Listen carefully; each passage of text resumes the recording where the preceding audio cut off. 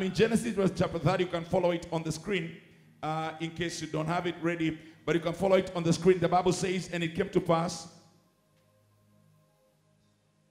It came to pass when Rachel had born Joseph that Jacob said to Laban, Send me away that I may go to my own place and to my own country. Give me my wives and my children for whom I have served you, and let me go. For you know my service which I have done for you. And Laban said unto him, Please stay. Please stay if I found favor in your eyes. For I have learned by experience that the Lord has blessed me for your sake. I have learned by experience that the Lord has blessed me for your sake. Then he said, Name me your wages, and I will give it. Verse 29, the Bible says, And Jacob said unto him, You know that I have served you, and how your livestock has been with me. Verse 30, For what you have been, for what you had before I came was little, and it has increased to a great amount. The Lord has blessed you since my coming. And now, when shall I also provide for my house? Verse 31. So he said, What shall I give you? And Jacob said, You shall not give me anything. So Laban asked Jacob, What is it that I you want me to give you? And Jacob tells him, Please understand that this is a scenario that I'm reading right now. Is Jacob has been in the house of Laban for 14 years. He has served uh, for seven years and he got Le- Rachel, uh, uh, uh, sorry, Leah, and then seven more years and he got Rachel. And then he's ready now to move on and to go uh, uh, on with his life so that he can begin to be productive and to make wealth and create wealth for himself because he had served Laban for 14 years and yet he had nothing to show for it. When he's about to leave, Laban tells him, I have learned by experience that the Lord has blessed me because of you. You are you have been so blessed that I have been blessed because of you.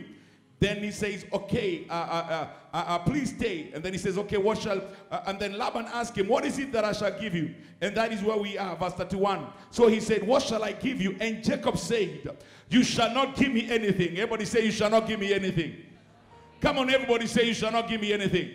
I wanted to clear your throat and I wanted to say this uh, clearly. I am not a beggar. You, I didn't hear you say it. Say, I am not a beggar. Come on, say it one more time. I am not a beggar. Say, I refuse to beg. Say it with some conviction. Say it with some passion. Say, I don't care where you are right now, but say, I am not a beggar. Come on, somebody say, I am not a beggar. And Jacob said, You shall not give me anything. If you do this for me, I will again feed and keep your flocks. Now, watch this. Let me pass through all the flock today, removing from there all the speckled and spotted sheep, and all the brown ones among the lambs, and the spotted and speckled among the goats, and these shall be my wages. He says, Allow me to go through the uh, uh, through your flock, and I wanted to do something.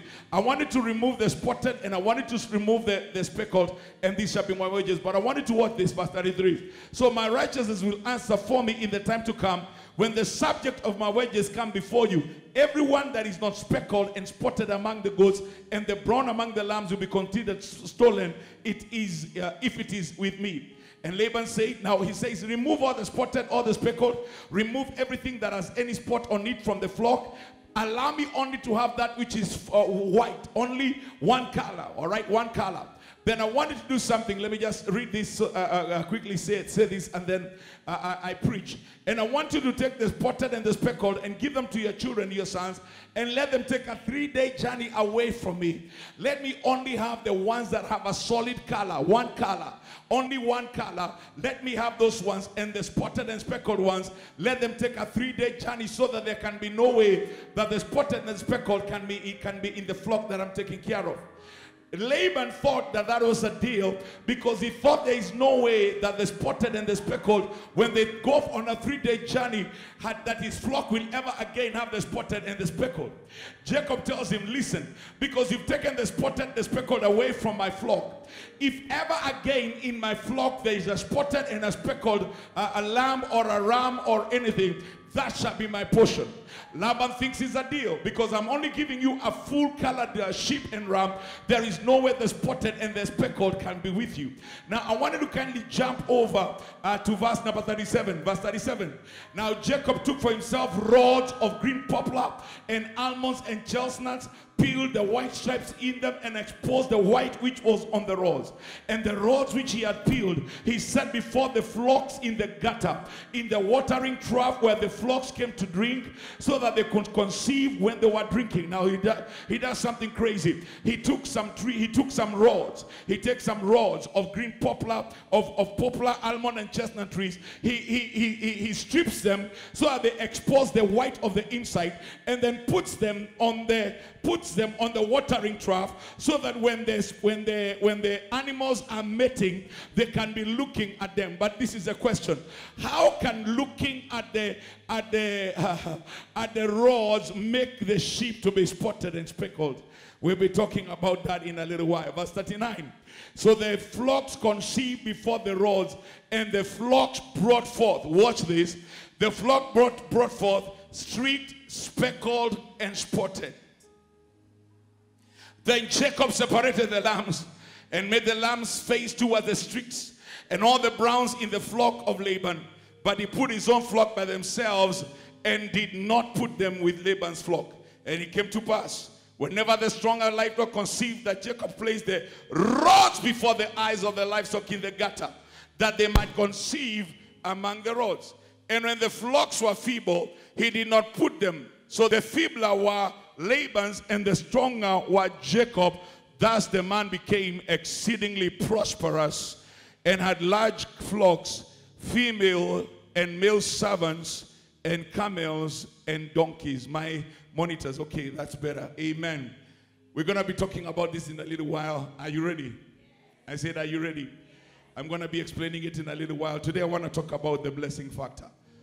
Amen. Amen. But before we do that, Gathoni is here. She's just going to lead us in this verse for two, one minute, and then after that we get into the Word of God.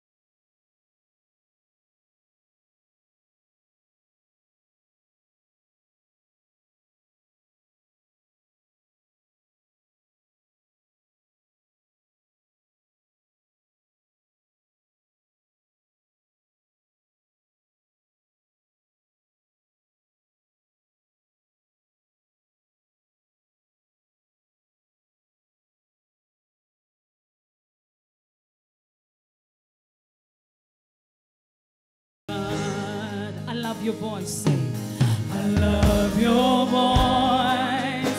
You have led me through the fire. You have led me through the fire in darkest night.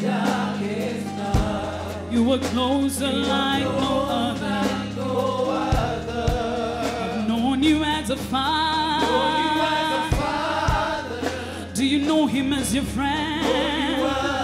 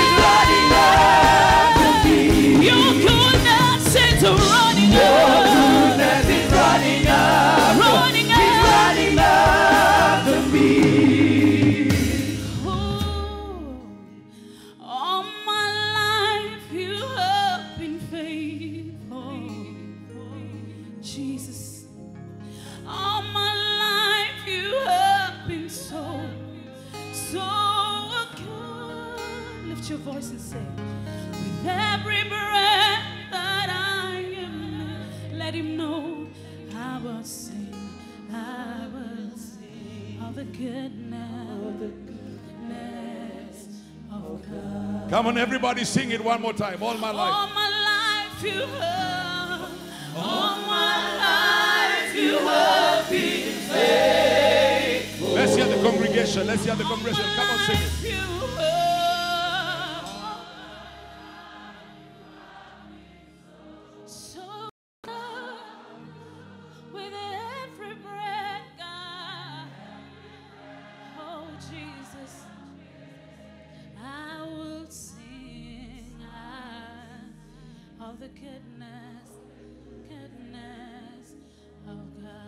Our dear loving Father, today we can make a declaration that you've been a good God. That even in the midst of our deep, deepest, darkest times, your presence, your spirit, your grace has always been available. And Father, today we come with rejoicing, we come with hearts that are filled with gratitude and appreciation, saying how deeply grateful we are for your mercy that has continued to chase after us, your goodness that has continued to chase after us. David said, Surely goodness and mercy shall follow me all the days of my life, and I will dwell in the house of the Lord forever. Our God, you are our healer. Our God, you are our deliverer. Our God, you are the restorer of our lives. The Bible says that you satisfy our mouth with good things so that our youth is renewed like a- an, an eagle. And I pray that in the name that is above every name, this shall be a time of encountering you, O God. You told me that this shall be September to remember. And already you have started to perform miracles. I pray that nobody shall leave this, uh, this house without a miracle. And those who are watching me by television, if there is anyone that is sick on the, in their body, those who are watching me on Facebook, those who are watching me by YouTube, oh God, let the miraculous power of God flow wherever they are. We trust you, oh God, to do the supernatural because that is what you are all about. Oh God, let your glory be seen today. Let your glory be manifested today. And let your power be here today. In Jesus' name. And everybody said, Amen. Oh, come on, say a better amen. You may sit on your enemies forever. Thank you so much. Keep on playing softly in the name of Jesus. Thank you so much, Gathoni and the worship team. Thank you so much, everybody, for just being such a blessing. I want to take this opportunity and just appreciate all the department workers who work, work so hard, the ushers, uh, the dancers, uh, uh, uh, uh the, the, the seats of gold, everybody that is just a blessing. The pastors, I love you. I had a wonderful time in Ghana last Sunday, but I'm always glad to be back home. Somebody say amen. Amen. Are you okay in this Presbyterian church? Say a better amen. This is a month, September, to remember, and today I want to talk about the blessing factor. I want to talk about the blessing factor for the next couple of weeks as we begin to talk about the will of God for us to walk in the blessing of God. I don't know how many of you read the Friday newspaper, and one of the things, the bold, uh, uh the bold uh, uh uh, headlines on that newspaper was about how the economy has shrunk and people have lost their job. Over 700,000, close to 800,000 people have lost their jobs. But I have come with good news. I've come with good news to tell you that what the newspaper cannot be able to give you, the word of God will give you. I wish I could get an amen from somebody. And therefore, today I want to stand as a man of God to say that whatever is happening in the natural, there is a spiritual answer. I said, whatever is happening in the natural, there's a spiritual answer. That is why you should not be hopeless. You should not give up. You should not throw in the towel. I know that it may be difficult, but please don't throw in the towel. Uh, there is always hope for you. Now, one of the things you have to understand that when God created man in the Garden of Eden, in the book of Genesis, chapter number 1, verse number 26, the Bible says, Then God made, uh, then God said, Let us make man in our image according to our likeness, and let them have dominion over the fish of the sea, over the birds of the air, and over the cattle and on, of the earth and every creeping thing that creeps upon the earth. That was the will of God, the mind of God, the agenda of God is actually displayed right there. In the book of Genesis, chapter number one, we see what was the plan of God concerning man. You are not created by accident, you are not actually a, a byproduct of evolution. You are not a monkey at all, a chimpanzee or a Zinjanthropus at one time, and then you evolved and became a man. No, you are created in the image of God and in the likeness of God, and the purpose for that was to have dominion over the fish of the sea, over the birds of the air, and over the cattle. Now, one of the things that you see is that God gives us three dimensions there. He gives us the dimension of the water, He gives us the dimension, the dimension of the air, and the dimension of the land, and over every creeper thing that creeps upon the earth. The Bible says, verse 27, so God created man in his own image. In the image of God created he him, male and female created he them. So when God created Adam, in Adam was male and female because the female was pulled out of Adam. In fact, one of the conundrums and one of the puzzles that evolutionists will have is when uh, uh, uh, uh, is when the Zinjanthropus became a man and then the man became a woman. That is a challenge that they always have.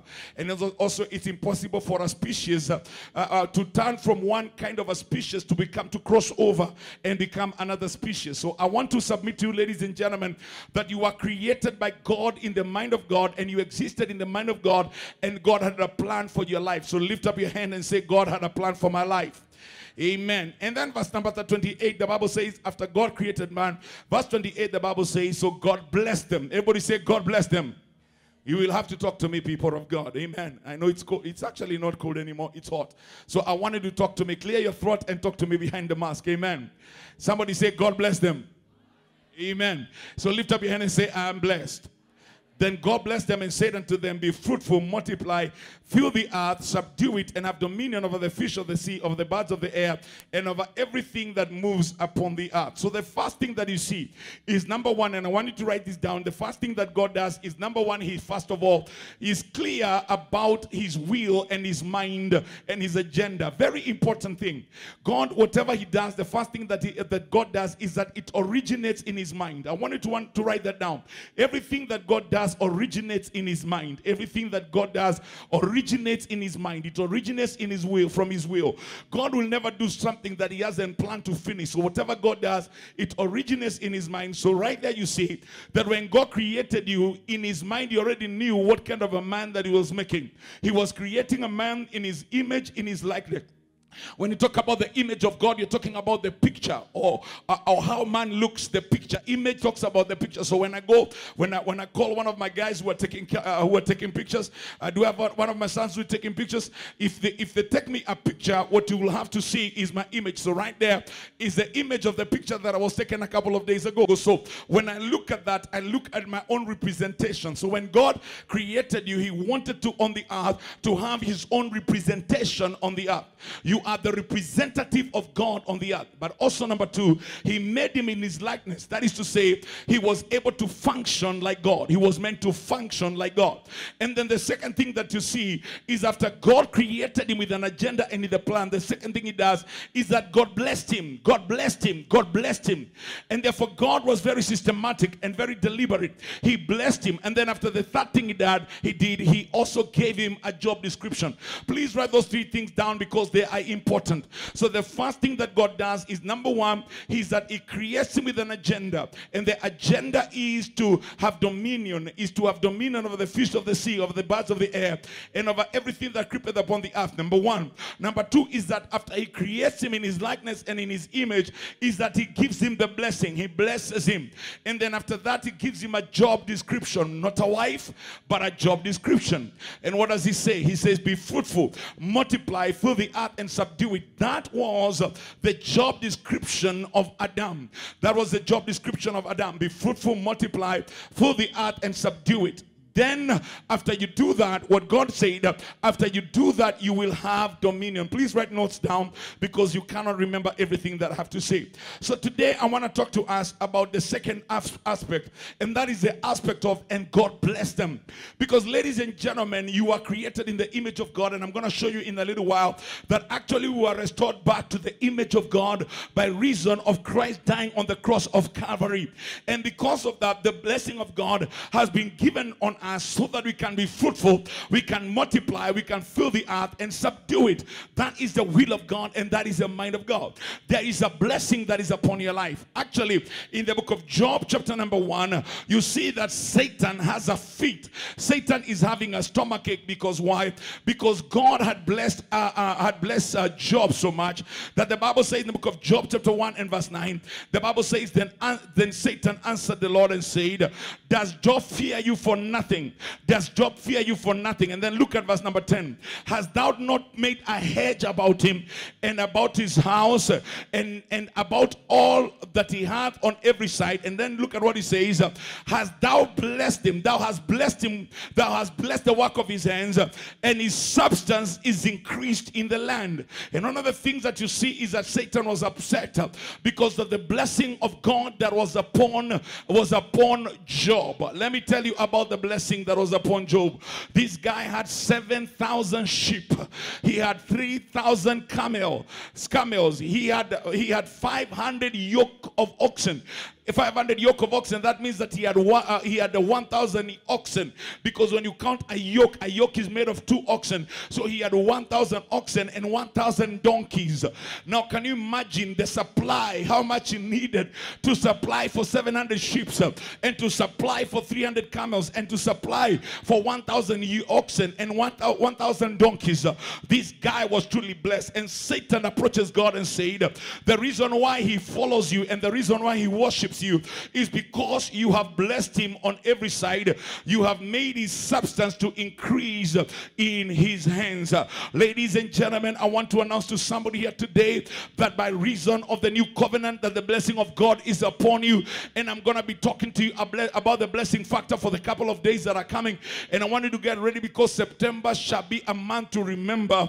You shall walk into a cash into a showroom and drive out with a car that money cannot buy. That things you can imagine that you, you don't even, you cannot even qualify for are about to be released in your hands. Can somebody shout amen?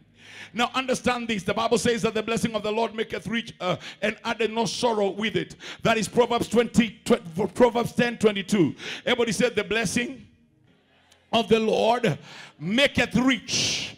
It is not money that maketh rich. Please write that down. It is not money that maketh rich. It is the blessing that maketh rich. It is a blessing that maketh rich. It is not money that maketh rich. It is a blessing that maketh rich. And the blessing of God, when it when it maketh rich, the Bible says, He added no sorrow with it. That is to say, when the blessing of God maketh you rich, it comes sorrow free. It comes tear free. That it comes tears free. That is to say, that the blessing of God cancels out toiling for living. Instead, it positions you in a place of creating wealth. Now, I wanted to write this down and I wanted to write it down in capital letters. God does not give you wealth. I wanted to write that down, please, and I wanted to underline it because this is important and this is critical for the church of Jesus and the people of God to understand. God doesn't give you wealth. God doesn't give you wealth. What does He give you? Deuteronomy chapter 8 and verse 18. And you shall remember the Lord your God, for it is He that gives you power to get wealth. So I want everybody to put their hand on your chest and say, God gives me power Everybody say, God gives me power to get wealth. Everybody say, power to get wealth. So God doesn't give you wealth. If God gives you money, that money may be counterfeit. God doesn't give you money. Money is printed by the Kenya, by the Central Bank of Kenya. It's not printed in heaven. But what God will give you is that to give you power. Somebody say power. Come on, Church of Jesus, say power. Come on, say it like you mean it. Say, say with a little bit of power. Come on, somebody say power. He gives you power. What is power? Power means the ability to act. It means the ability to act. It means the capacity for action. It means the capacity to, for action. It also means the capability to produce an intended effect. God gives you power. Write that down. He gives you power. It also means potency. It means might. It means strength. It means force. It also means influence. Influence. God gives you power. He doesn't give you wealth. He gives you the ability. He gives you the influence influence. He gives you the potency. He gives you the strength. He gives you the ability to work.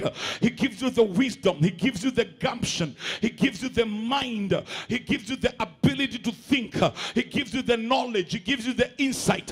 He gives you the creativity to be able to get wealth. Why? And this is important. When God created man in his image after his own likeness, where the Bible says that on the sixth day, God stopped creating. He stopped creating and he rested. And the reason reason why he stopped is not because he was tired, it's because he was through. He was done. And from that point on, man was supposed to continue as a co creator with God. He was supposed to be a co creator with God. And now God wanted Adam to use his genius uh, to be able to replicate what he saw in heaven on the earth. God doesn't live in caves in the heavens, uh, so he did not expect man to live in caves. Uh, God doesn't walk around heaven with nothing to wear he, he, he, he's, uh, he's dead with glory. So he expected man to be able to use his genius uh, to be the first fashion designer. Are you hearing what I'm saying? Uh, I said, Are you hearing what I'm saying? So God will give you the power, the ability, the grace. Uh, and, and, and allow me to say this uh, He will give you the blessing. Everybody said the blessing. He will give you the blessing uh, with the intended consequence of making you productive, be fruitful, and multiply and rise in your area of assignment. That is why, ladies and gentlemen, I want to announce to you you are not impotent, you are not powerless, you are powerful. Lift up your hand and shout, I got power. Lift up your hand and shout, I have power. Come on, shout, I have power. Come on, give me some little more help. Yes, thank you. Somebody say, I have power. Come on, say it one more time. I have power. God gives you the power to do what? He gives you the power to get wealth. He gives you the power to give to get wealth. You are not impotent. You are powerful. You have the power to manifest God's supernatural grace for, for, for supernatural results. You have the power for that. Now, I want you to kindly just take, allow me to take one moment and look at how we new covenant believers have been ushered into the blessing. In the book of Galatians, chapter number 3 and verse 26. Uh, the Bible says, For you are all sons of God through the faith in Christ Jesus. The Bible says, You are all sons of God. So put your hand on your chest and say, I'm a son of God. Uh, what does that mean? It means that you have the DNA of God. You know, the other day, Pastor, uh, you know, my daughter, my, my daughter Stephanie, you know, uh, uh, uh, she, she wrote to us a message and she said, Please pray for Ethan. Ethan will run for Monday's food and put it in his mouth and begin to eat. And before Monday realizes, uh, Ethan, who is just a year, is, is he about a year? He's about nine months, close to a year. He's not even one year. He begins to eat and finishes Monday's food before Monday turns. Ethan is done. And I say the DNA of the Kiunas is already in the boy. Hallelujah. Amen. I am not this size by faith. I am this size because of the DNA. And therefore, everyone in the Kiuna family, we have a DNA of expansion. And it's already showing in Ethan. Guess what? You have the DNA of God. I say you have the DNA of God. It's a DNA of victory. It's a DNA of success. is the DNA of power. Can somebody say amen? And the Bible says, For you are all sons of God through faith in Christ Jesus. Now, the Bible says again in verse 26, verse, uh, verse 29. Look at verse 29. Verse 29 says, uh, And if you are Christ, are you do you belong to Christ? How many of you here belong to Christ? Wave at me and say, I'm here. If you are Christ, the Bible says, then what? Then are you Abraham's seeds and heirs according to the promise. Now back up a little bit again in Galatians number 3. Back up a little bit and go to verse number 13. Please look at verse 13 of Galatians number 3. Look at what it says. It says this, that Christ has redeemed us from the curse of the law, having become a curse for us. For it is written, cursed is everyone who hangs on the tree. Now, ladies and gentlemen, please allow me to say something that is important. You are not cast, you are blessed. Let me say it one more time, and I wish I could get a church to agree with me. You are not cast, you are blessed. I said, You are not cast, you are blessed. The Bible says that Christ has redeemed you from the curse of the law. I don't care where your grandfather went, I don't care what your grandmother did. They may have gone for juju, but I want to announce in Zion, you are not cast, you are blessed. They may have spoken things over your life, but you are not cast, you are blessed. Why? Because Jesus has redeemed you from the curse of the law. For the Bible says, that cast is everyone that hangs on the tree. When Jesus hung on the tree, he broke every curse that was sent in your direction. And today, I want to decree to those who are watching me by television that if you are in Christ, the curse has been broken and you are blessed. Can the church lift up their hand and shout, Yes? Then verse 14 says that the blessing, that the blessing, that the blessing, that the blessing of Abraham might come upon the Gentiles, might come upon the Gentiles in Christ Jesus, that we might receive the promise of the Spirit through faith. Therefore, ladies and gentlemen, through Christ Jesus and the work that he did at the cross of Calvary, the hanging on the tree. Now, you have to understand something that is amazing that the, the, the punishment of the death by crucifixion was not something that happened in the olden days. In fact, they never used to crucify people. But when the Romans, uh, when the Roman Empire came, uh, because of their disdain for thieves and for the low lives, uh, they introduced the uh, crucifixion. It was the lowest. uh, it was the lowest form of death uh, that was only reserved uh, to the people who are the lowest of the scum on the earth. Uh, So anyone who was crucified, uh, number one would not have been a Roman, uh, uh, Roman citizen, and number two had to be the scum of the earth. Ah, but guess what? Uh, They were introducing it at the right time because God had already declared in the book of Deuteronomy that cast is a man that hangeth on the tree. It may have taken hundreds and hundreds of years uh, for the crucifixion to be introduced, uh, but it had to be introduced right at the right time uh, so that Jesus can hang on the tree of at the tree at the cross of Calvary. And by reason of hanging on the cross of Calvary, every curse in your life was broken. The curse on the land was broken. Every generational curse was broken. That is why I don't spend time talking about the curse because the curse is broken and you are blessed. Lift up your hand and shout, I am blessed.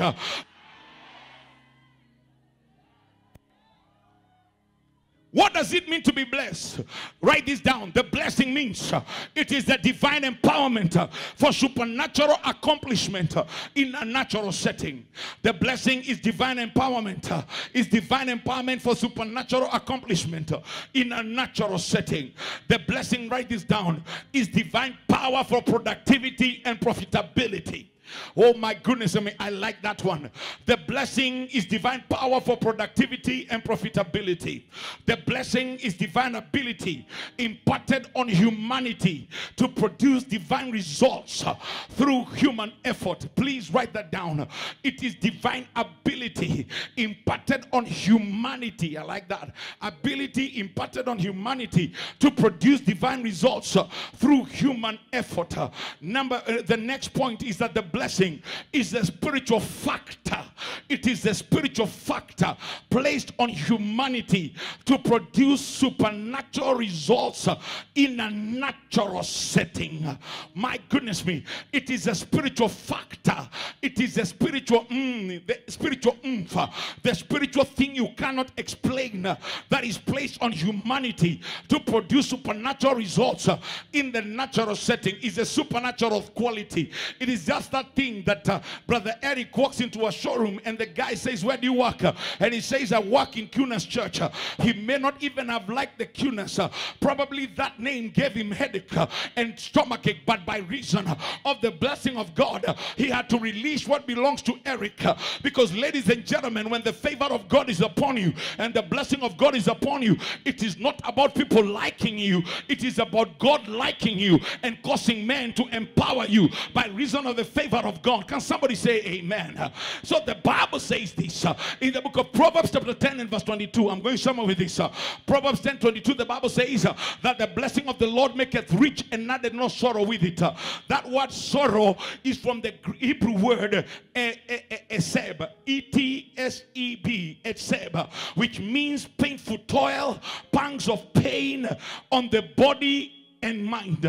It means painful toil, painful toil on the mind. It also means grievous labor, grievous labor. The blessing of the Lord, ladies and gentlemen, will eliminate painful toil. It will eliminate every kind of sorrow and it positions you into a place of sweatless triumph. Sweatless triumph. So listen to this, ladies and gentlemen.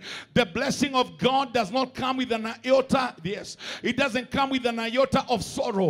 It eliminates sorrow, it eliminates toil, and positions you in a place of sweatless triumph. Church of Jesus, I know the statistics are dire. I know the pandemic has ravaged, and I know things are difficult. But I want to announce to you that before the pandemic hit, before the economy shrunk, before people got fired, God had already blessed you, and God had already positioned you to supernaturally become productive and fruitful in this economy. And may I submit to you, oh, I sense the glory of God. May I submit to you that you're about to experience the supernatural provision of God and the supernatural blessing of God, not because of the times we are in, because God is not does not move, and God is not moved by the times. He will still make a way where there seems to be no way. Can somebody say amen? God knew about the pandemic, God knew about the economy, God knew about everything that was going on, and I want to announce to you that by reason of the blood of Jesus, uh, listen to what the Bible says in the book of Exodus. uh, put the blood on your doorpost uh, and on the lintels. uh, put the blood, and the, the, the, the Bible says that God says, uh, when the angel of death uh, sees the blood, he shall pass over you. And today I want to decree and to declare, by reason of the blood of Jesus, I say, by reason of the blood of Jesus, the pandemic shall pass over you, poverty shall pass over you, brokenness shall pass over you, lack shall pass over you, and yes, death shall pass over you. You shall not die before your time. I decree and declare that God shall give you long life, uh, and He shall satisfy your mouth with good things, uh, so that your youth is renewed like an eagle. Can I get somebody to shout yes? Uh, Lift up your hand and shout the blood. Say the blood, the blood, the blood, the blood. The blood shall protect me. The blood shall protect me from COVID. The blood shall protect me from cancer. The blood shall protect me from diabetes. The blood of Jesus, by reason of the blood of Jesus, that, that blood has ushered me into a new covenant that is based on new. Oh, come on, somebody. That is based on better promises. Can somebody shout, I'm blessed? Lift up your hand and shout, I'm blessed. God never intended for you to work with toil, but God released a blessing so that you can work without toil, you can labor without strain, you can be diligent without sorrow, and you can prosper without pain. Hallelujah. I said, Hallelujah. Jesus paid the price for your provision. And guess what? Today we are not even talking provision, we are talking productivity. Because provision is the entrance point. But that is not the will of God. That is not the entire will of God. The will of God is to bless you until you become a blessing. I wish I could get 30 people to say yeah. I said, I wish some people I could get some people to say yeah. So he tells Adam, he says, Adam, I want you to be fruitful, to multiply. I want you to be fruitful, to multiply, to replenish, to subdue the earth. Quickly, let me give you some, in two minutes, the definitions of this word because I have so much to go. I don't even know how far I'll go, but I'll pick up from here. To, to, to be fruitful means, uh, fru- fruitful and multiply means to increase and have an abundance in every way. To increase and have an abundance in every way. It means to increase and to have an abundance in every way. To replenish means to fill up, to perpetually renew, to supply, and to keep full. That was the will of God. Replenishment uh, is a function of good stewardship that ensures that we replace everything that we have used up. So that we have used up, for example, trees to make timber, so that we can make tables. But we don't, uh, uh, we don't leave the next generation without trees. So we have to replenish the forest uh, so that the next generation of Mandy and, and Ethan can be able to step in and have trees. That is what is called replenish. To subdue means to conquer. It means to conquer. It also means to keep something under. This was the will of God. So when God put man in charge of the other, he didn't put, he put him to have dominion. God never intended for man to be ruled over. He had a, the, he had every intention for man to be in charge. Can somebody say amen? And therefore he gives him the blessing which is the divine empowerment uh, for him to be productive. Now, please I want you to write this down. My goodness me, I wish I had 2 hours to preach this. I want you to write this down. Is that the spiritual always precedes the natural. The spiritual always precedes the natural. What am I saying? The first thing that God does, does is that He decides the man that He wants, and then He forms the man, and then He blesses him. After He blesses him, He then gives him the job description. The blessing is the spiritual that always precedes the natural. I wanted to write that down. If you want to experience success in your life, uh, you must understand that the spiritual will always precede the natural. Please write that down because that is important. Let me qualify it and let me prove it to you. In the book of Matthew, chapter 28, uh, when Jesus is going away, Matthew 28, for those of you who have been doing with us the Bible challenge, you remember this verse. Jesus tells them and tells them, All authority has been given to me in heaven and earth. And he says, Go therefore and make disciples of all nations, baptizing them in the name of the Father, the Son, and the Holy Spirit, teaching them to observe all things that I've commanded you. And lo, I am with you always. What was that? It was the commandment for the job description for the apostles. But after he gives them the, uh, the after he gives them the commandment, what does he tell them in the book of Acts? He tells them, Don't go and begin to preach. I want you to go to the upper room and wait uh, until I endow you with the power of the Holy Ghost. Uh, Why? Because the spiritual must always precede the natural. God did not want them to go preaching until He had put on them the spiritual quality for them to be successful. Let me prove it to you again in the book of Psalm 67, verse number 5 and verse number 7. Listen to what the Bible says. Psalm 67, verse number seven, number 5. What does the Bible say? It says, Let the people praise you, O Lord. Let the people praise you. What is that? It is the spiritual activity of praise. Please understand that when you're praising God in the church, we are not engaging in futility. When you're praising God, you're activating the supernatural. You are in the realm of the spirit. Your praise is in the spirit. Your worship in this is in the spirit. That is why Jesus told the Samaritan woman that a time is coming and a time is now when the true worshippers shall worship me, not on the mountain mountain, not in Jerusalem, but shall worship me in the spirit and in truth. So when you begin to praise and to worship, you are engaging in the spiritual. And then the Bible says, then verse 6, uh, the earth shall yield and her increase, and God our God shall bless us, and God shall bless us, and all the all the ends of the earth shall fear him. So this is what David is saying. When you engage in the spiritual activity, what you're actually doing is that you're unleashing the grace for you to go into the natural realm and become productive in the natural realm. That is why, ladies and gentlemen, you shouldn't give your tithe last. You should give your tithe fast. Why? Because tithing is not a physical activity. Tithing is a spiritual activity. And the Bible says, bring ye the tithe into my storehouse and see if it if I will not open the windows of heaven and pour you out a blessing. When you bring the tithe, which is spiritual, you allow God to pour out the blessing spiritual. And when you go into the marketplace natural, you become productive in the marketplace because you have already engaged the spiritual, which must always precede the natural. I, I don't I hope I'm making myself clear. I said, I hope I'm making myself clear.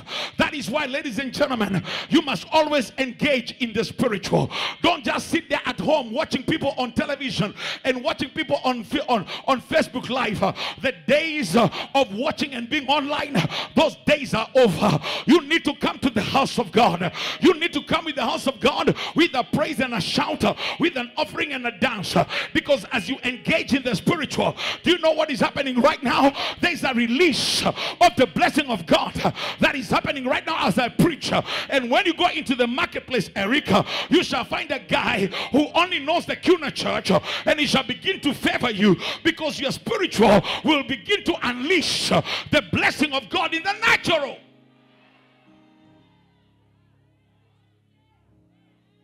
Your prayer is not in vain. I said your prayer is not in vain. Your love for God is not in vain. Your shout is not in vain. The Bible says, Let the people praise you, oh God. When they praise you, then the earth shall yield her increase. I wish I could get 30 people to jump up on their feet and give God a crazy praise and watch the earth bring forth her increase. Give God a praise.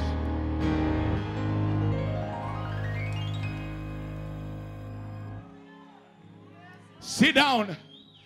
I wish I had another hour. Everybody said the spiritual. Come on, say like you mean it's the spiritual will always precede the natural. Your service is spiritual in the house of God. Ushers, listen to me. Your ushering is not just us walk, it's not just you walking around and us seeing your beautiful faces, and all of you guys look so amazing. But it's a spiritual activity. So that when you go into the marketplace, uh, God begins to bless you. Why? Because God is not unjust uh, to forget your labor of love. Uh, He is a reward uh, of those who are spiritually engaged in doing his work. If you're in the media team, if you're in the department and you come and serve, and sometimes uh, nobody notices your service, Maureen. I want you to understand uh, there's a God in heaven uh, who will release a quality on your life uh, that will make you prosper in places where you never imagined. Uh, Don't stop praying. Uh, Don't stop praising. Don't stop reading the word. Don't stop worshiping. Don't stop doing spiritual activity.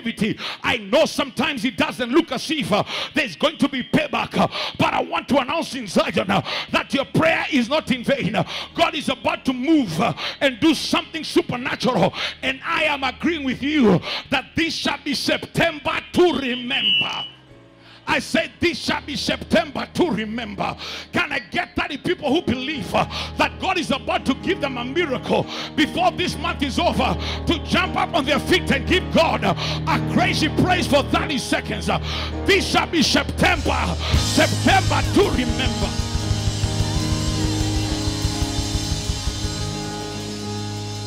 Sit down. But the spiritual cannot produce what the natural produces. And this is the frustration of many people. Is that they pray in tongues, but they're lazy. They can pray until heaven moves. But the guys have refused to use their head. That is why you need to get the book, think on these things. Because the reason why God makes gives you the blessing is so that you can go into the marketplace and become productive. Your spirituality is useless if it is not producing for you.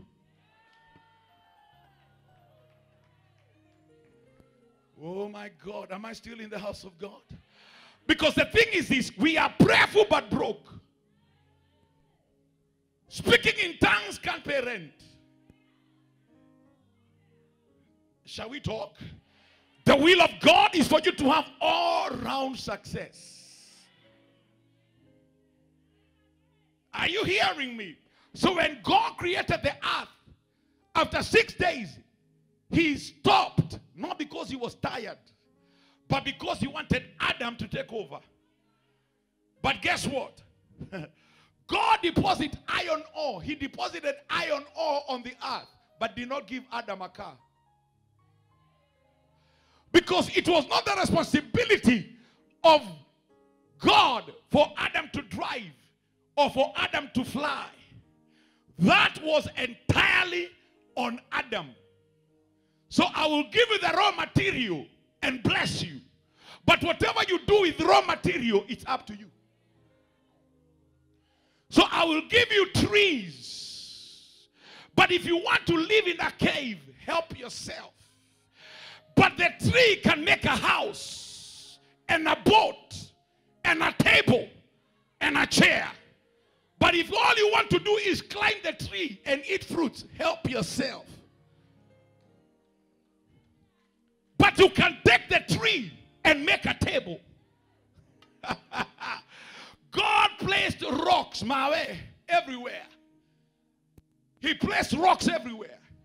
So that if Adam wants to build a house with stones, the materials are available. But if he wants to live in a mud house, help yourself. So, Adam, the level in which you live is not dependent on me. It is dependent on you. I have given you the genius because I created you in my likeness and in my image. But if you want to be mumu, shall we talk? If you want to be mumu and live in a madhouse, by the way, my father grew up in a madhouse, and I remember us going to uh, to the madhouse when I was young, and uh, it was actually going like this because those guys, when they used to build madhouses, they didn't build madhouses to stay. Actually, the reason why there were madhouses is so that they, when they fall, they just do another one. And what used to happen is that the whole village would gather for the day called Idiga. Idiga was the day when everybody came and they would come with tea and everything to build like a house, a mud house. And they would start in the morning and in the evening, the mud house is standing. But guess what? When they were doing the mud houses, the stones were available. The timber was available in the tree. But the, the, the, the dimension in which they lived was dependent on their creativity.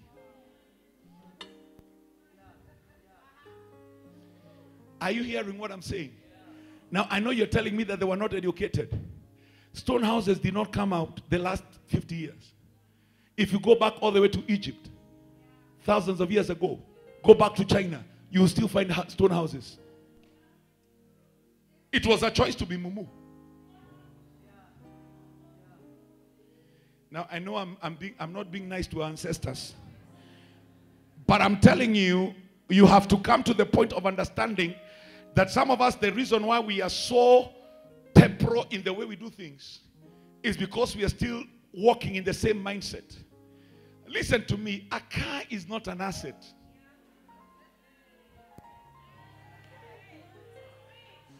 A car is a means of transportation.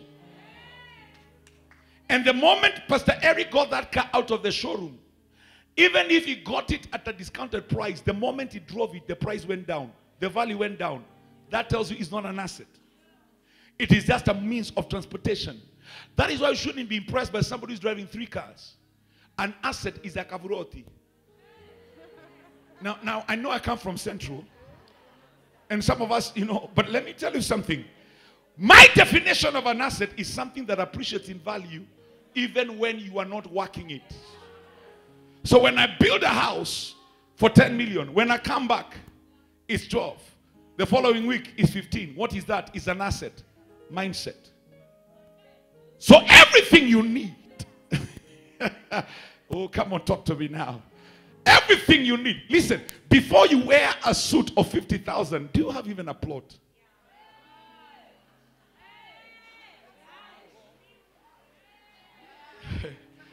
Because what the blessing does is that the blessing breaks every mummuness and allows you to think like a child of the Most High God. Are you still listening to what I'm saying? Now, I only have five minutes to go. That is why, ladies and gentlemen, when you are blessed, you cannot be lazy. When you are blessed, you cannot be lazy. Allow me to give you quick scriptures here so that you can be able to finish. Listen to what the Bible says. Now, let me give you some quick scriptures here. Because, ladies and gentlemen, the blessing will motivate you to work in the natural physical realm so that you can be productive. Now, listen to the scriptures. Uh, Proverbs chapter 10 and verse 4. Proverbs chapter 10 and verse 4. He that has a slack hand becomes poor, but the hand of the diligent maketh rich. The hand of the diligent maketh rich. How can you snore for eight hours? Sleep for eight hours. Do you know if you sleep for eight hours and you live to be 75, you would have slept for 25 years of your life?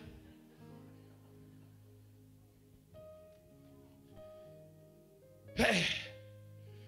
Deuteronomy 28, verse 12. Write it down. The Lord will open his good treasure. The heavens to give you rain in your land in his season. To bless all the work of your hands. Everybody lift up your right hand and say, The Lord shall bless the work of my hands. I cannot hear you. Please talk like you. You're some people with some some gusto. Lift up your hand and shout, The Lord shall bless the work of my hands. Lift up your hand and say, The Lord shall bless the work of my hands.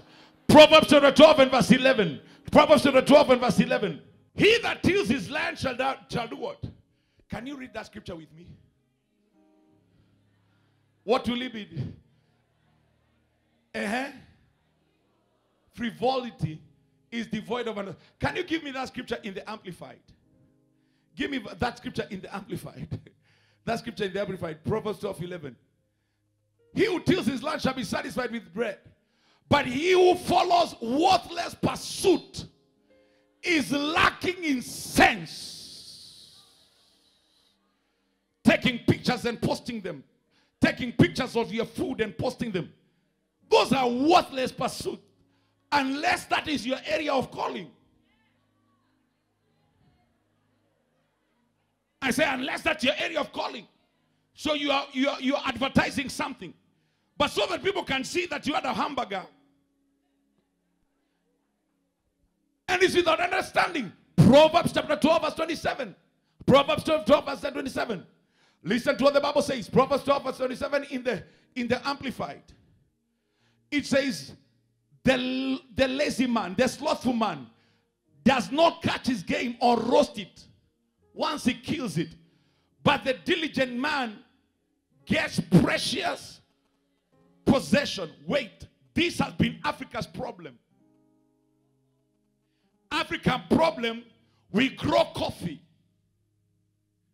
And instead of roasting the coffee, we export it to Europe where they, I don't know what they even do with it, ship it back and sell it to us again at 50 times the price of the coffee when we sold it. So we are working on catching the game, but we don't roast the game. Because the issue is not in the catching of the game, but in the roasting of the game. We grow cocoa in Africa, then export it to Switzerland. And then they said Swiss made chocolate. Switzerland doesn't have one tree of cocoa. But if you go to the airport, you shall buy Swiss made, Swiss made chocolate. Where did they get the cocoa? Charlie. But guess what? Ghana has waken up. And they have said they will not be exporting their cocoa. They'll be making chocolate. The days of begging and borrowing are coming to an end. And there's a new generation of blessed people who are rising up today. Stand up on your feet and give God a crazy praise as we come to the end. Those of you watching me by television, you can continue to watch me on YouTube and Facebook as you come to the end of this service. Also, please call for the book, for the book, and God is going to bless you. As everybody else sits down, let me pray for those who are watching me by television. Father, heal, deliver, set free, break every chain that has held people captive, and save them in Jesus' name. If you'd like to get saved, please call the number on the screen. Somebody's waiting to minister to you. Put your hands together and give God a praise.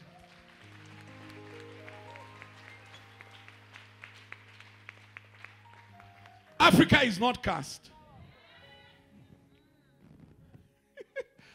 I tell you, Africa is not cast. In fact, when I went to Ghana, Peter will tell you, Peter, Ghana, do you know Ghana has more churches than nightclubs? It's not like Kenya. Nigeria. so spiritually, we are where we ought to be. What is the problem? We have not translated our spirituality into. Are you hearing what I'm saying? And I can promise you, no matter how spiritual you are, when your landlord comes and knocks the door at the end of the month, you don't look at the landlord and say, Rebroko Shepra. Igadodo pakaria dusha pakata. Iko sapai lagai ragai. No. You don't tell your landlord. That is not what to tell your landlord. What do you tell your landlord? You have to give your landlord a paycheck, a check. And I want to announce that in the name of Jesus, uh, there's gonna be a release of the blessing of God upon the house of God. You shall be a landlord. I said, You shall be a landlord. I said, You shall drive the best, wear the best, own the best, live in the best in the mighty name of Jesus. Can I somebody say amen? Can I get people getting excited because multi-millionaires and multi-billionaires who are full of the Holy Ghost are being released in the house of God? Give God a 30 second praise as I preach to you today.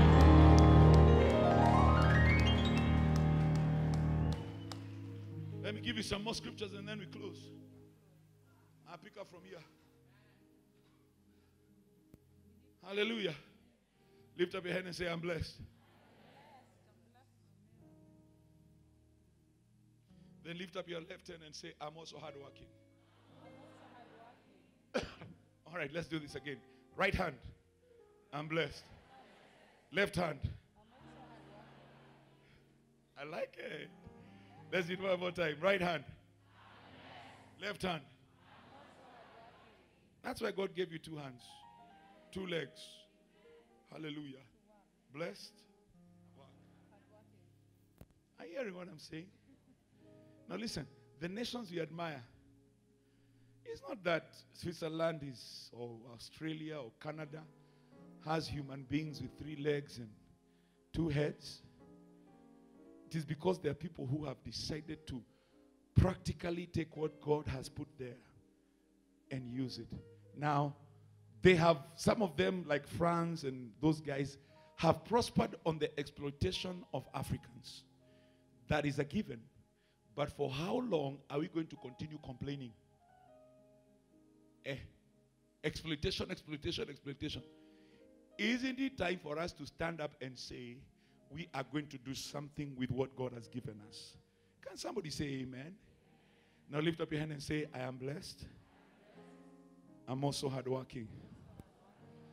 And let me just say, and please, this is not a political uh, statement, okay? This is not a political statement. This is just a spiritual statement. Are you hearing what I'm saying? It's a spiritual statement. Lift up your hand and say, I'm not a hustler.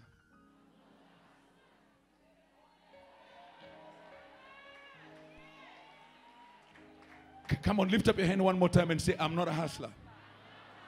I'm not a hustler. I am not a hustler. I am blessed. I am a multimillionaire. I am a billionaire. I am a thinker. I work hard. I don't need to hustle when God has blessed me with every heavenly blessing in heavenly places. Are you hearing what I'm saying? Stop allowing yourself to be defined by political narrative. You are not a hustler, you are a child of the Most High God, and God has blessed you with every heavenly blessing in heavenly places. Put your hands together and give God a praise in the house of God.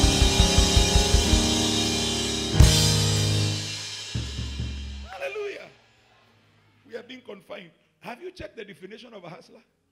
Please go and check. Yeah, it's one who's struggling. You know, I am blessed. Hallelujah.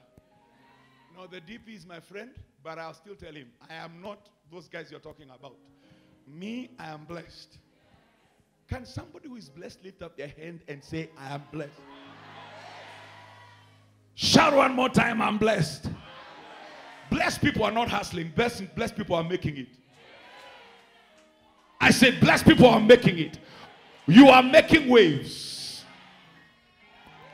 I say, you are making waves. I wish I could get somebody to say, yeah. When they Google your name, they see the blessing of God on your life. I decree and declare that God shall not only bless you, he shall make you a blessing. When people want to see blessed people, they shall look at you. Oh, come on, talk to me and say, Yeah. You may be struggling right now, but that is not a sentence. That is just a foundation of what God is about to do in your life. And today I stand as a man of God to announce September to remember the blessing of God is coming upon you. You shall rise up with power. You shall rise up and become all that God called you to become. Go give three people a high five and tell them, I am blessed. I am blessed. I'm blessed. I'm blessed. I'm blessed. I'm blessed. Go to three people, give them a high five and tell them, I'm blessed. I am blessed. Walk over to somebody, give them a high five and tell them, I am blessed, baby.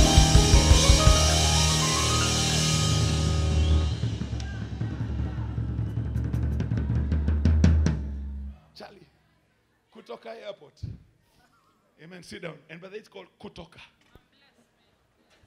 Amen. So we're telling them Kutoka means leave.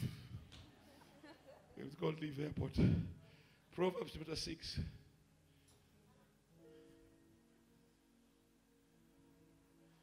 Hey. Wagoi. Wagoi. Wetagwo atĩa Go to the ant, you sluggard. Consider her ways and be wise. Verse 7. Which having no captain, no overseer, no ruler, if you still need people to supervise you so that you can be able to do what needs to be done, you are a novice and juvenile and you're not going anywhere. Blessed people don't need a captain, don't need an overseer. I don't need a phone. I don't need anybody to call me to tell me to wake up and pray. This morning at 2 a.m., I was in the prayer closet praying for you. Are you hearing what I'm saying? This anointing is not flowing by magic, it's flowing by his pursuit. Are you hearing what I'm saying? It is because I have pursued God the entire week. And you sit there, you want me to give you money. If you want me to give you money, you come and pray with me the way I pray.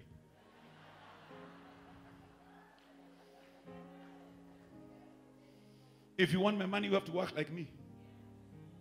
Are you hearing what I'm saying? I said, Are you hearing what I'm saying? It says, provides and supplies in summer. What does she, what does the ant do? It looks at summer and says, This is the time for harvest. So the ant will harvest in her summer to keep for winter. You have to have the wisdom to know that not every time will be summer. There are times when you'll have more than enough. You don't finish it. When you have more than supply, you don't buy a new shoe. I was just drawing your attention to my shoe. Mshaiona eh? Amen. I can buy a shoe. You know why? Because I have done what I need to do and everything else in my life is working, so I can buy a shoe. Are you hearing what I'm saying? So you don't you don't start to raise your standard of living because money has come. And this is why many people remain poor. Is because when you get a pay rise, instead of investing, instead of investing, and by the way, let me say this you should get to a point where you live by your passive income, not by what you work for. Passive income. What is passive income? When a kavurothi had. Money is just coming without you sweating. That is what you should live for. What you work for should be for your investment. I translate. It means that you have something, you have, a, you have something that you're doing on the side, whether it's shares that gives you dividends. That is what to live by. That's what you should target for. That's what you should target for. So that whatever you're working for is for investment. And your passive income is for living. Thank you. Now, I know some of you are looking at me and saying, Bishop, you don't know where I am. Yes, I'm talking about where you are because of where you're going. Because where you are is not a sentence. You're not going to be there forever. That's why I'm speaking about the blessing of God because the blessing of God is about to lift you and put you up there. But when you get up there, don't just think about, you know, thank God for your car. It's a, it's a what brand? It's a what brand? It's a Nissan, all right? Son, stay with the Nissan. I know from where you come from, you'd like a Mercedes. you know, when you come from Europe, uh, you, you want a Mercedes. But, but, but let me just help you. Right now, that may not be the, the thing that you need the, the, the most. And this is what you understand when you look at people, especially who are in places like Europe. Those guys don't even have cars, they use trains. They have, a, they have, a, they have a, uh, an effective, effective transportation system that doesn't require them to drive. Now, in Africa, we still have to get there. But I'm saying this, we have to change the way we think and understand that we have to provide our supply for summer and gather your food in harvest. So, when you begin to have a harvest, it's not time for you to spend everything. You have to be able to know how to be able to separate what it is for eating and what you need for investment so that by the time you are you are in your 60s, you don't have to work. You work because you want. Now, I don't believe in retiring, I believe in refiring, but I don't intend to be in my 70s that I have to preach for me to, to be able to take care of Pastor Kathy. I'll be preaching because I want to, not because I have to. Are you listening to me? And that is where God wants to take you. So begin to provide yourself because of the days that you're coming. Now, listen, I do not intend to be a burden to my children. The Bible says that a good man does what? He leaves an inheritance for. My children must kiss my photograph when I leave the wealth. When I show them the wealth and tell them, children, this is what I have left for you. Nathan will give me a hug. Mandy will spin on her head. And Nia will run a marathon when they see what it is that I have done for them. Are you hearing what I'm saying?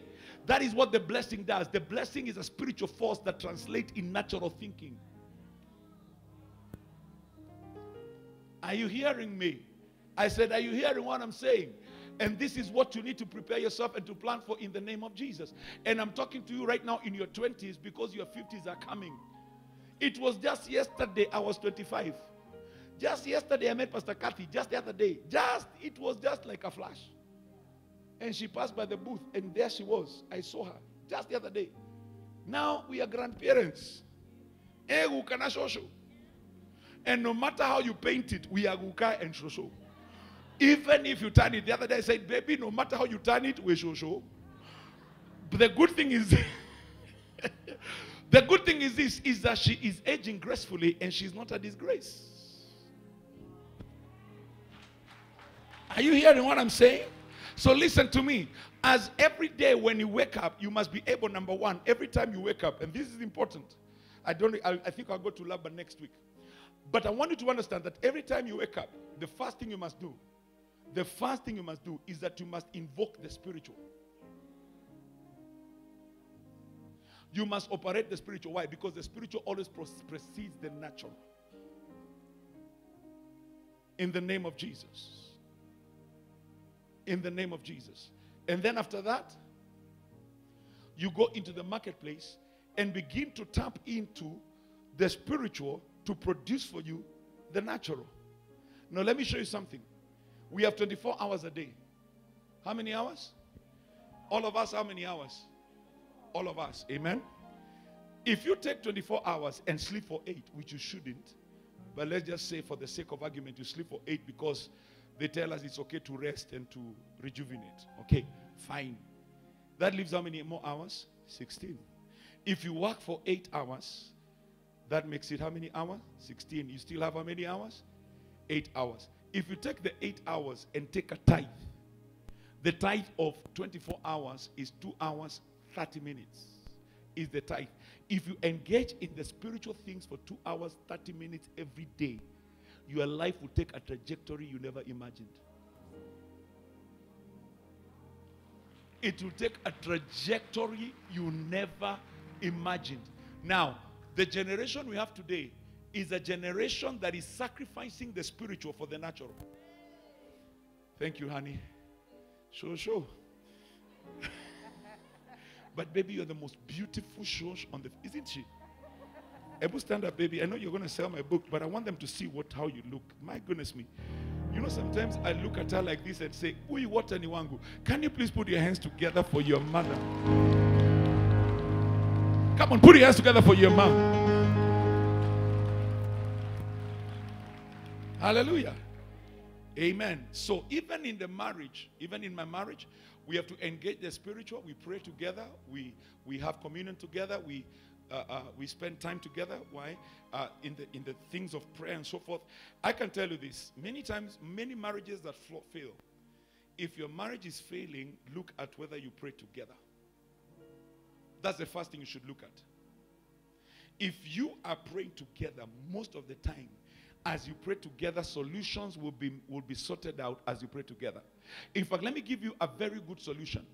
Before you argue, all right, before you argue, join hands and pray. Tell your wife, honey, we are about to argue, but before we do, let's join hands and pray for 30 minutes. Le kolia do sapraka do shada da da da. Le ke de de shede de de de shopraka da. 30 minutes. Then after 30 minutes, say, okay, let's argue. Ulikuwa unasema nini? What happens? After 30 minutes, you'll be crying, oh, I'm so sorry, baby. Why? Because the spiritual, when it precedes the natural, things begin to happen. Unfortunately, we are spending so much time in the natural and not in the spiritual so that we are not able to tap into the realm of the spirit. And guess what? This is another thing I've seen. When people get blessed by God, they used to be in the house of God. They used to be doing all manner of spiritual things in the house of God. Suddenly, now because they are driving, Eric, they have to go on Sunday morning to wash their car in the car hire, in the car wash, because now they have a car. And guess what? They start to compromise on the spiritual, and before you know it, they are carnal. Because it is only by engaging the spiritual that ensures that what you're doing is not carnal. The natural is not carnal. There's a difference between natural and carnal. Carnal is when it's it's it's being done in the flesh. Natural is when you're doing what you're supposed to do by using the work of your hands. Are you listening to what I'm saying? So you are a carpenter, you are a teacher, you're a lawyer, you're a mason, you you you you David, you do make uh, those things that you make. Amen. Whatever it is that you make, Caro, you sell electronic equipment. Uh, uh, what that is what you're doing in the natural, but you shouldn't be doing those things carnally. Carnality is when you're taking bribes. Is when you're compromising. Is when you're tearing down your neighbor. By the way, let me just say this, Carol. Even if you are in a line where there are 50 other people selling their electronic equipment, when the blessing of God is upon you, people will leave all those other shops and come to your shop. Are you hearing what I'm saying? Isn't it amazing? I don't know if you've ever noticed, but if you go to a Muindi shop in the morning, before they open the shop, what do they do? They sacrifice to their idols and pour incense on their idols before they open the shop. Why? Because they understand the spiritual always precedes the natural. But look at us, people of God. We can't even be in morning glory. You wake up like a Taliban. Whoo. I'm running late. I'm running late. I'm running late like a Taliban. And you're out there eh, trying to make ends meet. That's what the devil whoops you all the time. You should be deliberate. Are you hearing what I'm saying? You should be deliberate. Be deliberate at the time you sleep. Be very deliberate at the time you sleep. Sleep at a deliberate time. Don't just stay there on Instagram until 2 a.m. You go to work, your eyes are red. You haven't even prayed. Your eyes are red. What were you doing? Instagram the whole night. No. You would deliberately go to bed at 10 o'clock. Come on now. You wake up at 5 o'clock, pray for an hour, join the morning glory, receive the feeding of the word of God from the men of God, get into your car. Hello? How many people are believing God September to remember shall give them a car? I say he shall give you a car. Get into your car. Don't go listening to all nonsense. Maina. Talking about all manner of rubbish. That is not your portion. Put on some wonderful worship of Pastor Kathy, God worshiping God all the way to the office. By the time you get to the office, the anointing is dripping. When anyone with a demon walks through that door, the, the demon is rebuked uh, because you have already engaged in the spiritual that precedes the natural, and the blessing of God is working upon your life. Uh, now give God a 30 second praise. I am done. I shall pick up from here next Sunday. Praise the Lord, everybody.